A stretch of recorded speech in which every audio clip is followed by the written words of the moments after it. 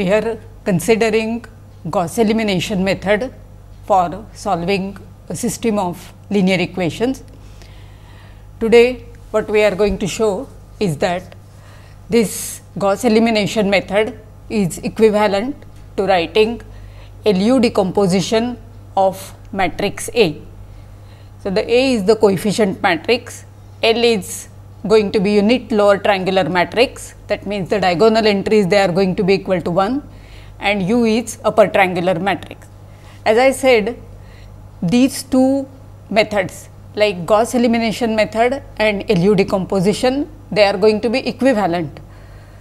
So, in terms of number of computations we do not save anything, but when we consider backward error analysis of Gauss elimination method there this LU decomposition becomes convenient.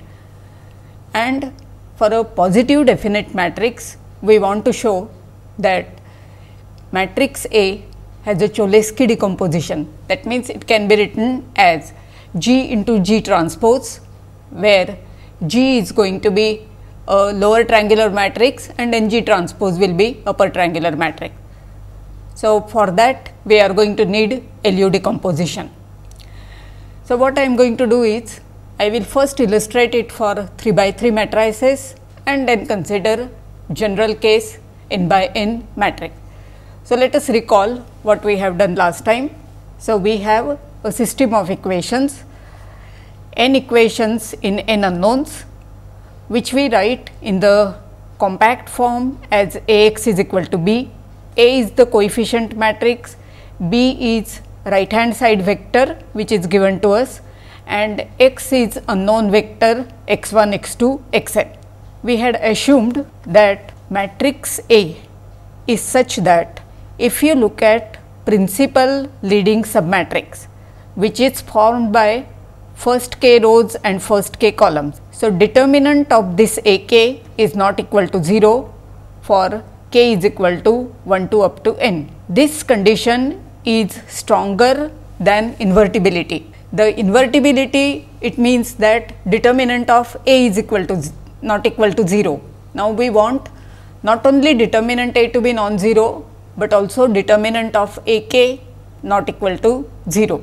Now, this Gauss elimination method we will write we will show that it is equivalent to writing A as L into U. So, the Gauss elimination method will be equivalent to saying A is equal to L into U, L is unit lower triangular, U is upper triangular matrix. This is what we want to show and then that will be the LU decomposition. So, we will always assume that LU decomposition means L is unit lower triangular and U is upper triangular matrix. What we are going to show is yesterday we saw that using elementary row transformations we had reduced A to an upper triangular matrix U.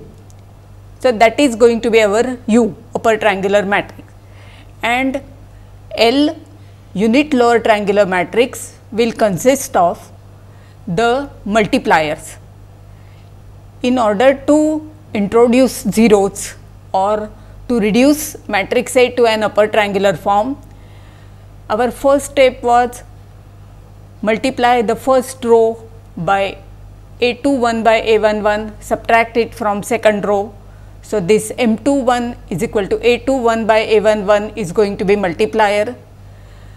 So, lower triangular matrix we are going to show that it will be such that it will have 1 on the diagonal and the remaining entries will be multipliers in the Gauss elimination method. So, L is lower triangular along the diagonal 1 and here you have got M 2 1, M 3 1, M n 1 these were needed to introduce zeros in the first column below the diagonal and so on. So, we are going to first consider 3 by 3 matrix. Now, here are some notations E j will denote canonical vector which has got only one at jth place all the other entries they are 0. When we talk of vector x it is always going to be a column vector. So, this will be equal to x 1 e 1 plus x 2 e 2 plus x n e n. ijth entry of n by n matrix we denote by a i j. If you look at a multiplied by e j, e j is this canonical vector, then what we get is jth column of A. You can verify this. If you look at E i transpose A, then you will get ith row of A and if you consider E i transpose A E j, A is n by n matrix, E j is n by 1 vector, E i transpose will be 1 by n vector. So, the result is going to be scalar and that is our A i j. So, now let us look at 3 by 3 matrix. So, here is a 3 by 3 matrix and in the Gauss elimination what we are doing is the first step is going to be look at A 2 1 by A 1 1 that is our M 2 1 and then R 2 minus M 2 1 R 1. Then you look at A 3 1 by A 1 1 that is M 3 1 and then R 3 minus M 3 1 R 1. This is the first step of Gauss elimination method. The way we, we have chosen M 2 1 and M 3 1 the entries here they are going to be 0. So, you are converting matrix A to this matrix. Now, this entry A 2 2 that will be modified to A 2 2 superscript 1 which will be A 2 2 minus M 2 1 and then the corresponding entry A 1 2. A 2 3 will be modified to A 2 3 minus M 2 1 and then A 1 3 that is the result of R 2 minus M 2 1 R 1. Then A 3 2 becomes A 3 2 minus M 3 1 A 1 2 and A 3 3 1 becomes A 3 3 minus M 3 1 A 1 3. Now, these operations we could have performed by multiplying our matrix A by this matrix. So, the matrix has 1 along the diagonal. Here you have entries to be 0 and here it is minus M 2 1 minus M 3 1. So, when I do pre multiply matrix A by this matrix, first row into first column will give us A 1 1, then first row into second column A 1 2 and first row into third column A 1 3. So, no change in the first row. Then minus M 2 1 times A 1 1 plus A 2 1. Now, what was M 2 1? It is A 2 1 by A 1 1. So, A 2 1 by A 1 1 multiplied by A 1 1 that will give you A 2 1. Because of this minus sign it will be A 2 1 and then you are subtracting. So, here this entry will become 0 then minus M 2 1 A 1 2 plus A 2 2 which is nothing but the right hand side here and so on. So, thus the first step of Gauss elimination method is pre multiplying our matrix A by this matrix. So, now consider matrix E1.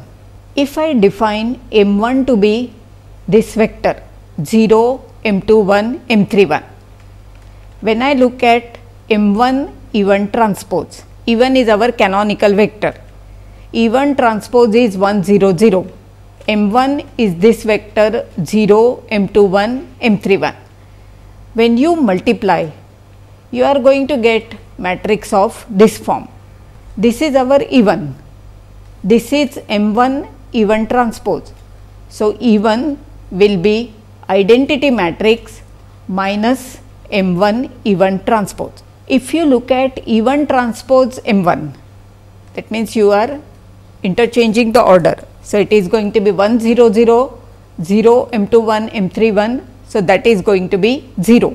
Using this you can check that I minus M1 E1 transpose into I plus M1 E1 transpose is equal to identity which means inverse of this matrix E1 is going to be identity plus M1 E1 transpose. So, this is the first step of Gauss elimination method. Now, we are going to look at the second step. So, in the second step we are looking at only 3 by 3 matrix. So, we will have to make only one entry to be 0. We are going to look at the third row minus M32 times R2. This is after the first step of Gauss elimination method we have got this. Now you define M32 to be A321 divided by A221 and subtract from the third row the second row multiplied by M32. You have zeros here. So, these will not be affected. This entry will become 0 and this entry will get modified. So, A332 is equal to A331 minus M32 A231 and you can verify that this can be achieved by pre-multiplying our matrix A1 by this matrix. You have got 1 0 0. So, the first row will remain unchanged. Second row here is 0 1 0. So, the second row also remains unchanged. When you look at the third row, the third row into first column will give you 0, third row into second column. Because of the choice of M32, this becomes 0 and A331 gets modified to A332. As before, let us look at matrix E2 and define M2 to be vector 0 0 M3 2. M2 E2 transpose that is going to be a matrix which has 0 everywhere except M3 2 here and hence E2 will be identity matrix minus M2 E2 transpose. Consider I minus M2 E2 transpose into I plus M2 E2 transpose. This is going to be equal to identity because E2 transpose M2 is going to be 0. You will have identity then minus M2 E2 transpose and plus M2 E2 transpose. So, that gets cancelled and then minus M2 E2 transpose M2 E2 transpose E2 transpose M2 will be 0 so, you are left with identity. So, E2 inverse is identity plus M2 E2 transpose. So, thus our Gauss elimination is equivalent to doing E2 E1 A and then you get matrix A2 which is equal to our upper triangular matrix U. We have seen that E1 and E2 these are invertible matrices so, we have got E 2 E 1 into A is equal to matrix U, which will mean that A is going to be equal to E 1 inverse E 2 inverse U. And this E 1 inverse E 2 inverse we will show that that matrix is going to be a lower triangular matrix with 1 along the diagonal. So, that is going to give us LU decomposition of our matrix A. It is a bit technical, but the idea is simple. It is just that whatever operations we are doing in the case of Gauss elimination method, they can be performed pre by pre multiplying our matrix A by an appropriate matrix which is say E1 then E2 and so on. So, let us look at E1 inverse E2 inverse that is identity plus M1 E1 transpose and identity plus M2 E2 transpose multiply. So, that will be identity plus M1 E1 transpose plus M2 E2 transpose and E1 transpose M2. E1 transpose is row vector 1 0 0 M2 was 0 0 m3 2. So, that is 0 and hence this term is not there. Now, identity matrix that means you have got these ones and remaining entries 0. M1 E1 transpose. We had seen that M1 E1 transpose is the matrix 0 everywhere except M2 1 and M3 1 and hence you have M1 E1 transpose will be contributing M2 1 M31. M2 E2 transpose was matrix with 0 everywhere except entry M32 and thus our E1 inverse E2 inverse is going to be a lower triangular matrix with diagonal entries to be equal to 1. So, this was for 3 by 3 matrix. Now, I am going to quickly do for n by n matrix, but not going into all the details. The idea is similar. So, look at n by n matrix and look at the first step. So, in the first step you are multiplying the first row by m i 1 and subtracting it from r i, where m i 1 is a i 1 divided by a 1 1. This is our matrix A.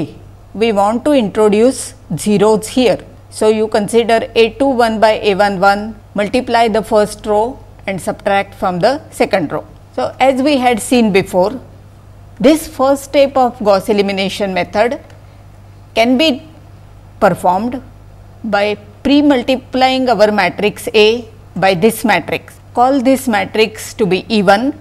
So, we have E1 A is equal to A1 that is the first step of Gauss elimination method.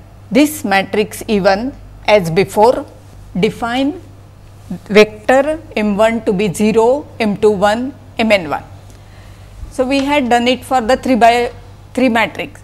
So, in that case our matrix our vector M1 was 0, M2 1, M3 1. So, now the only difference is instead of a 3 by 1 vector you have got n by 1 vector. So, 0, M2 1, M3 1, Mn 1. Then our matrix E1 is nothing but identity minus M1 E1 transpose exactly same as before only difference is instead of 3 by 1 vector you have got n by 1 vector. So, this matrix E1 which is identity minus M1 E1 transpose it is going to be an invertible matrix and its inverse will be given by identity plus M1 E1 transpose. Same proof as before. So, E1 is identity minus M1 E1 transpose and E1 inverse is going to be equal to identity plus M1 E1 transpose. Next, in the second step of Gauss elimination method, you have Aij 2 to be equal to Aij 1 minus Mi 2 A2j 1, ij varying from 3 up to n. So, here now you define your vector M2 which has the multipliers. So, the multipliers are M3 to M4 to Mn2 and then E2 is going to be your matrix which has 1 along the diagonal minus M3 2 minus Mn2. If you look at E2 multiplied by A1 that is going to give you A2. So, you have started with A, you pre multiplied by E1 and you got a modified matrix A superscript 1. Now, you multiply by E2 and then you get A2. This E2 is also invertible matrix. E2 is identity minus M2 E2 transpose, its inverse is identity plus M2 E2 transpose. And in general, your Ek is going to be identity minus Mk Ek transpose. Ek inverse will be identity plus Mk Ek transpose and then when you look at En minus 1 into En minus 2 up to E1 multiplied by A, then you are going to get your upper triangular matrix U. Exactly the same matrix which we had obtained in the Gauss elimination method. In the Gauss elimination method, our system A x is equal to B, we had converted into an upper triangular system u x is equal to y. And if it is a upper triangular system, then we can do back substitution. So, we first determine x n, then x n minus 1 and so on. So, this u one can obtain by pre-multiplying A by invertible matrices E n minus 1, E n minus 2 up to E 1. Then that gives you A to be equal to E 1 inverse E 2 inverse up to E n minus 1 inverse. Now, if you remember in yesterday's lecture we had said that our aim is to reduce the system A x is equal to b to a system u x is equal to y and that should be a equivalent system. That means, the original system and the new system they should have the same solution. So, now here is a proof of this that when you do Gauss elimination method then the new system is equivalent to the earlier system. So, we have got matrix A you pre-multiply by matrix E. So, E is going to be matrix obtained by multiplying E n minus 1, E n minus 2 up to E 1. Each of E j is invertible matrix. So, E is going to be an invertible matrix. So, we have A x is equal to B which is same as E A x is equal to E b where E is invertible and then E into A will be our u. So, you get u x is equal to y. So, if x is a solution of a x is equal to b, it is going to be solution of u x is equal to y and the converse is also true. If x is a solution of u x is equal to y, then it will be a solution of a x is equal to b. Now, look at even in E inverse it will be E 1 inverse, E 2 inverse, E n minus 1 inverse. E 1 inverse is identity plus M 1 E 1 transpose, E 2 inverse is identity plus M 2 E 2 transpose and E n minus 1 inverse is this.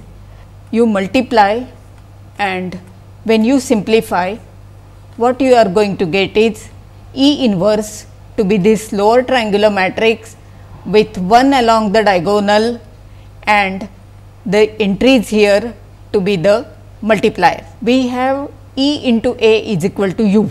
So, A is equal to E inverse U and now E inverse is equal to L. So, you get A is equal to L into U.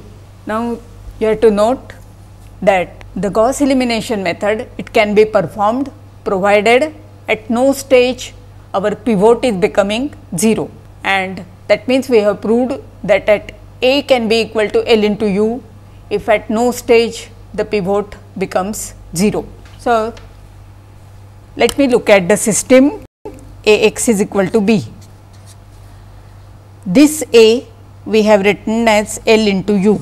So, you have got L into U x is equal to B.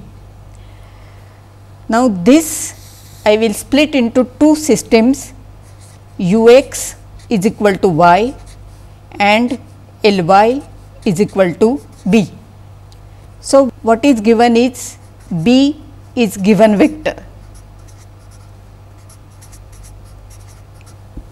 So, look at L y is equal to B. L is matrix lower triangular 1 1 1 then you had here M 2 1 M n 1 and so on these are all entries to be 0, y 1, y 2 up to y n is equal to b 1, b 2 up to b n. So, when we look at the first equation, it is y 1 is equal to b 1, vector b is given to us. So, you determine y 1 in the next equation, you will have y 1 and y 2, y 1 is already determined. So, you determine y 2. So, this is going to be forward substitution. So, you determine y 1, y 2 and y n. Once you have done that, then you look at u x is equal to y. Now, in u x is equal to y, the right hand side we have determined and there you are going to do back substitution. So, we have either you consider Gauss elimination method or you look at A is equal to L into U and solve two systems of equations. Once forward substitution, once backward substitution and both of these they will need the number of computations to be of the order of n square. Whereas, finding L and U that will be of the order of n cube by 3. So, what we have done is we have proved that the Gauss elimination method is equivalent to or one can show that if you have performed Gauss elimination method. So, you have obtained U, you have got multipliers, construct matrix L and then you have got A is equal to L into U. So, now maybe what one can do is try to write this A is equal to L into U directly. So, before we do that trying to write directly let us show that such a decomposition is unique. If you say that A should be equal to L into U where L is lower triangular, U is upper triangular, such a decomposition is not unique. But if you say that L should be unit lower triangular, that means all the diagonal entries should be equal to 1, that is what makes the decomposition to be unique. Now, the proof of uniqueness is straightforward. There what we are going to use is if you have got two upper triangular matrices and if you take their product that is going to be again an upper triangular matrix. Similarly, if you have got two lower triangular matrices, if you take their product then it is going to be again a lower triangular. And if these two matrices are unit lower triangular, their product is also unit lower triangular. This we will do as a tutorial problem, the verification that product of upper triangular matrices is upper triangular. We also have a result that if your matrix is lower triangular and it is invertible, then its inverse is also lower triangular. So, using these two results, we are going to show that LU decomposition of a matrix A is unique, where L is unit lower triangular and U is going to be upper triangular. Our assumption is determinant of A k not equal to 0, where A k is principal leading submatrix of order k, which is formed by first k rows and first k columns of our matrix A.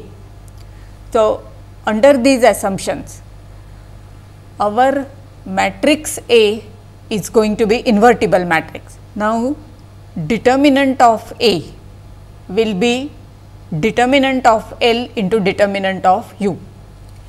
We have proved existence of LU decomposition. Start with a matrix A with the property that determinant of AK is not equal to 0, perform Gauss elimination method, the final matrix upper triangular matrix that is U, construct L using multipliers and that gives you L. So, we definitely know that a matrix A can be written as L into U. Now, we want to show that such a decomposition is unique. Determinant of a upper triangular matrix or a lower triangular matrix is product of the diagonal entries. Now, L has all the diagonal entries to be 1 so, determinant of L is going to be 1. Determinant of U that is same as determinant of A because what we have done is we have used elementary row transformations and the elementary row transformation of only one type which is multiplying a row by a non-zero constant and subtracting from other row. So, such an operation does not change value of the determinant. So, determinant of A is going to be determinant of u. So, determinant of u will be not equal to 0 because determinant of A is not equal to 0. So, our u is going to be a invertible matrix and also L will be invertible matrix. So, let us start with two decompositions A is equal to L 1 u 1 and also L 2 u 2 and then show that L 1 has to be equal to L 2 u1 has to be equal to u2. So, A is L1 u1 plus is equal to L2 u2 that will mean that L2 inverse L1 is equal to u1 inverse u2. Determinant of u1 is determinant A which is not equal to 0. So, u1 is invertible. Determinant of L2 is equal to 1. So, L2 is invertible. So, it is L2 inverse L1 is equal to u1 inverse u2 u1 is upper triangular and hence its inverse will be upper triangular. Product of two upper triangular matrices is upper triangular, L1 is lower triangular, L2 inverse is lower triangular. So, their product is also going to be lower triangular. So, you have on one hand a lower triangular matrix, on another hand an upper triangular matrix. So, these two are equal provided both of them those are diagonal matrices. So, our L 2 inverse L 1 and U 1 inverse U 2 they are going to be both of them diagonal matrices. In addition, L 2 inverse L 1 is going to be unit lower triangular. So, that means all the diagonal entries they are equal to 1. So, your L 2 inverse L 1 then U 1 inverse U 2 both of them they will be diagonal matrices with diagonal entries to be equal to 1 that means identity matrix. So, you get L1, L2 inverse L1 is equal to identity that gives you L1 is equal to L2, U1 inverse U2 is equal to identity that gives you U1 is equal to U2. So, that is uniqueness of LU decomposition and this uniqueness we are going to need when we want to show that a positive definite matrix can be written as G G transpose that is the Cholesky decomposition. So, now let us see like we know that A can be written as L into U and such a decomposition is unique. So, let me see whether I can try to determine the elements of L and U directly. That means not going through the Gauss elimination method and then multipliers and then constructing L and all. What I can try to do is write A as L into U where L is unit lower triangular matrix, U is upper triangular matrix and try to determine the entries of matrix L and matrix U. So, matrix A is given to me the entries of L and U these are not known. So, you will multiply identify the corresponding entries and then try to determine. So, again I am going to quickly do this. So, we are writing A as a unit lower triangular matrix. So, you have got 1 along the diagonal and then L 2 1, L 3 1, L n 1 that will be the first column and so on all the entries above the diagonal they are going to be 0. U will be upper triangular matrix. So, you have u 1 1, u 1 2, u 1 3, u 1 n first row. Then in the second row you will have 0 here, u 2 2, u 2 3, u 2 n and so on. Some of the entries above the diagonal in U also can be 0, but what we know is definitely below the diagonal they are all 0. Now, you look at first row into first column. So, that is going to be u 1 1. So, that u 1 1 will be equal to a 1 1 like that then first row into second column, first row into third column and so on that will give you A1j to be equal to U1j. That means you have determined the first row of U. Our L the first row is only has only 1 and remaining entry is 0. So, when I consider first row of L multiplied by various columns of U, what comes into picture are only the entries of the first row of U and then you get A1j is equal to U1j. So, you have determined first row of U. Now, you consider the L21 U11 that is going to be equal to A21. Then third row first column, fourth row first column and so on. When you do that, you are going to have Li1 U11 is equal to Ai1 and Li1 is equal to Ai1 divided by U11. So, that means you have determined first column of L. So, we write A as L into U, L unit lower triangular, U upper triangular and then the first row of U is determined, first column of L is determined. Now, we will determine the second row of U second column of L, third row of U, third column of L and so on. In this order, we can determine all the entries of L into U. Now, what you have to notice is that when you do this thing, all the diagonal entries of U they have to be not equal to 0 because in the first one we notice that we are dividing by u 1 1. The matrix A is given to us and we are trying to determine the entries of L and U. Now, in the second step, the first column of L is known, first row of U is known. So, you consider second row of L and jth column of U that is going to give us A 2 j. So, this A 2 j is going to be equal to L 2 1 U 1 j plus U 2 j, j going from 2 up to n.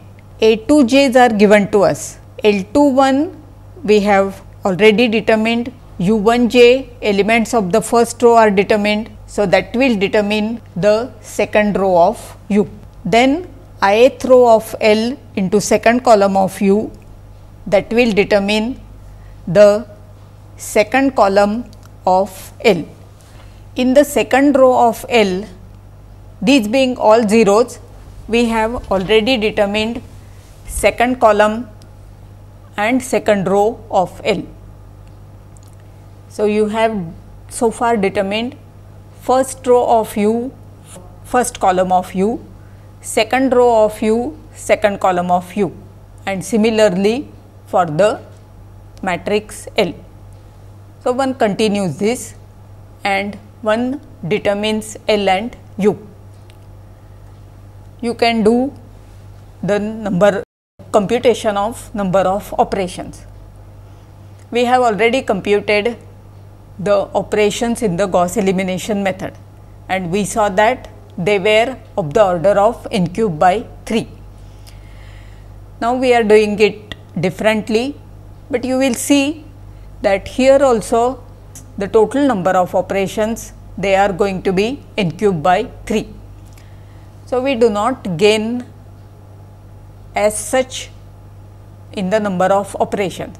Whether you do Gauss elimination method or whether you determine L and U directly, you are going to be the number of operations they are going to be the same. But as I said this writing A as L into U that is useful in doing the backward error analysis for Gauss elimination method and for considering the Cholesky decomposition of the matrix A. We have got LU decomposition. Now, we have got another decomposition which is known as LDV decomposition. So, what are these? L is unit lower triangular, V is unit upper triangular and D is going to be diagonal matrix. A is equal to L into U with all UIIs to be not 0. Then you define consider D to be diagonal U11, U22, UNN and then V is equal to D1 inverse U. So, this is my definition. When you try to look at the entries of V, so V i i will be given by D inverse its ikth entry into U k i, k going from 1 to n, the matrix multiplication. D being a diagonal matrix, the only term which remains is this summation will be D inverse I i and U i comma i will be nothing but U i i. So, you get V i i to be equal to 1. So, that means if you define V to be equal to D inverse U, where D is diagonal entries, diagonal matrix consisting of diagonal entries of U, then our matrix V it becomes an upper triangular matrix with diagonal entries to be equal to 1. So, we have A is equal to L into U, V is equal to D inverse U that means U is going to be equal to D into V. So, we have A is equal to L D V. So, starting with LU decomposition, we have proved existence of L D V decomposition, where L is unit lower triangular, V is unit upper triangular and D is diagonal matrix. Now, soon it will become clear to you why we are going to this that we had LU decomposition that why not be satisfied with it, but go now to this new decomposition L D V. So, let us show that this LDV decomposition is also going to be unique. We have proved the existence and uniqueness of LU decomposition. From the LU decomposition, we deduced LDV decomposition, but there can be some other way of finding LDV. So, we want to show the existence. So, we have A is equal to L1 D1 V1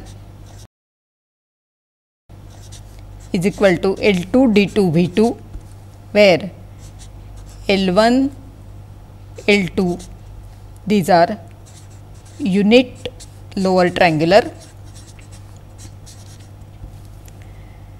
D1 D2 are diagonal matrices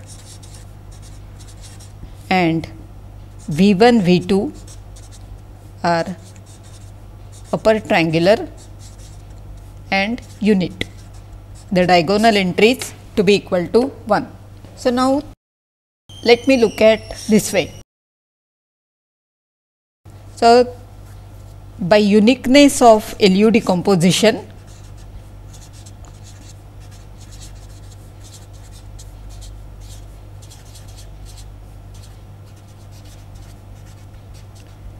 what we get is L1 is equal to L2 and d1 v1 is equal to d2 v2. This will imply that d2 inverse d1 is equal to v1 inverse v2. Now, is v1 invertible? Yes, because v1 is going to be unit upper triangular. So, determinant of v1 is going to be equal to 1. So, we have got d2 inverse d1 that means a diagonal matrix, v1 inverse v2 that means it is going to be a unit upper triangular matrix. So, both of them they have to be diagonal matrices and since the diagonal entries of v1 inverse v2 they are going to be all equal to 1 all both of these they have to be equal to identity matrix.